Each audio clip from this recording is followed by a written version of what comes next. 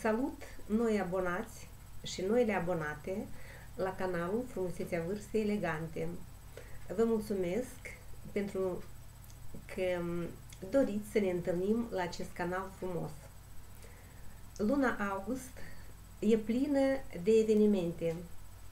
Au fost evenimente mai plăcute și mai puțin plăcute, dar e și luna când ne purificăm, ne purificăm trupul, mintea, sufletul, pentru a ne schimba fața interioară, ca să devenim mai buni, mai înțelegători, mai iubitori, mai răbdători și iertători. Și de aceea e bine să primim, să primim ce ne dă viața, să ne bucurăm de ea și să mergem mai departe. Pentru doamnele care degrabă își încep lucrul la 1 septembrie și și-au dorit ca să le dau niște sfaturi cum să aibă un ten radiant, luminos, înainte de această sărbătoare și înainte de acest eveniment, început de an școlar. Și mi-am zis că e bine să am ca moto astăzi un citat din Cartea Cărților Țineți-vă corpul în curățenie. Dar cine aduce medicina estetică pentru așa ceva? Așa ceva. În primul rând, să folosiți proceduri de exfoliere care conțin acizi din fructe. Să aplicați și să folosiți în câteva sesiuni peeling-ul care în afară de exfoliere, de purificare, de curățirea porelor, ne ajută să ne eliberăm de petele maro, de pelea ternie, ne dă o luminozitate. O altă metodă pentru a obține un ten radiant este folosirea lazerului sau luminii pulsative, unde dintr-un un dispozitiv emană lumină care se îndreaptă în țintă la pele, în pata maro, într-un vas în caz de rozacee, stimulează sinteza colagenei și acidului hialuronic. Pielea devine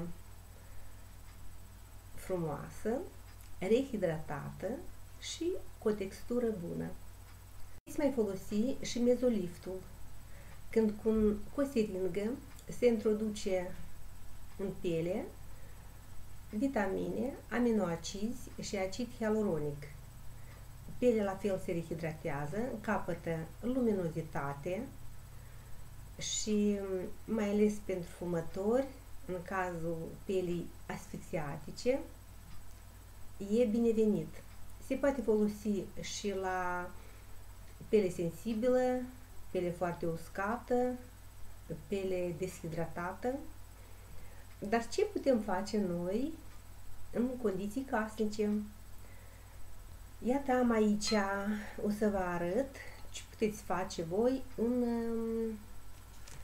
Facem un amestec din zahăr, facem un amestec din zahăr brun, vom lua două linguri de acestea de zahăr brun, iată așa i-am, pline, vom amesteca cu o linguriță de apă oxigenată de 3%. Acesta este un peeling de revigorare a tenului și amestecăm ușurel zahărul zahărul brun. Zahărul brun este din trestie și foarte bun, bine ajută la renoirea pelii și la hidratare. După aceea adăugăm ulei de măsline, o lingură. În cazul acesta, noi adăugăm uleiul de măsline pentru a proteja stelea și mai adăugăm și unt ulei de cocos.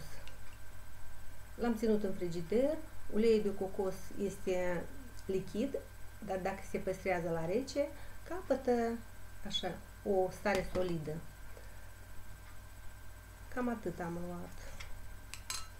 Amestecăm să se primească o pastă. Amestecul acesta puteți să-l faceți, să-l aplicați la 3-4 zile. 3-4 zile. Amestecăm bine, bine, bine. Iată așa făcut pastă. După aceea, după aceea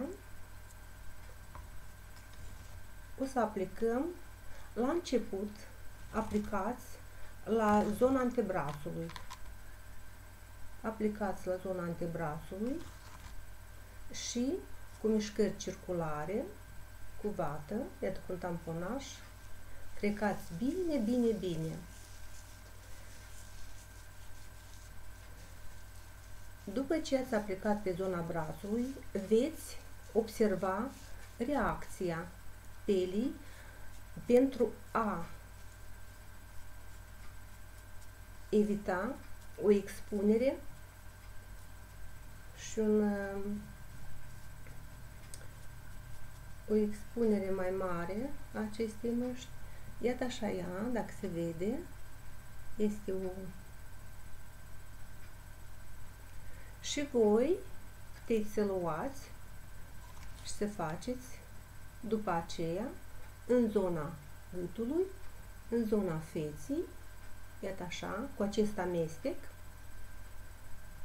masați, masați bine tenul și îndată cu un prosop muiat în apă călduță, înlăturați acest amestec și aplicați crema voastră preferată.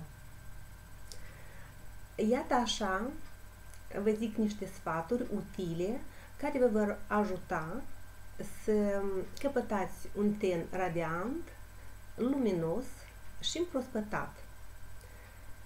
Vă zic că luna august este luna iubirii mele, iubirea mea care miroase a busuioc, a divinitate, prin ceea ce mă gândesc, prin ceea ce fac și ceea ce spun, vă transmit iubirea mea către voi, vă îmbrățișez și vă aștept la canalul Frumusețea Vârstei Elegante. Pe curând!